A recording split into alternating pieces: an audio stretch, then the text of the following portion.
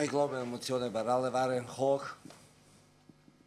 Aber es ist schwierig, äh, große Emotionen zu haben nach so einem Spiel, äh, wo hat man dominiert, wo musste man eigentlich äh, schon früher alles entschieden und dann da passiert so eine Aktion in 92. Minute und das coolt ein bisschen Situation, aber ich kann nicht sagen Erleichterung, aber Zufriedenheit, da haben wir das bestätigt, was haben wir gezeigt in den ersten elf Spielen.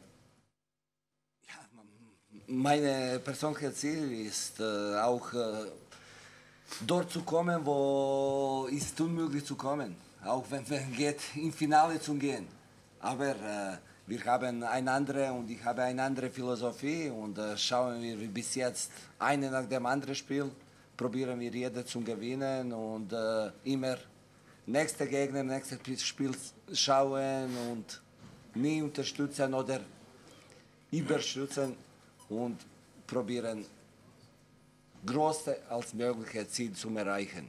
Jetzt, ob es das Final, Halbfinal, Viertelfinal, haben wir keine und setzen wir keine Limite.